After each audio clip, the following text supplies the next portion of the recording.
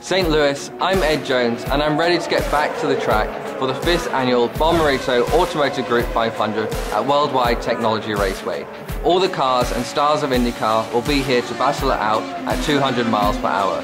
That's August 20th and 21st when NTT IndyCar returns to St. Louis. The Bommarito Automotive Group 500, details and exclusive ticket offers at bommarito.com and I'll see you at the track.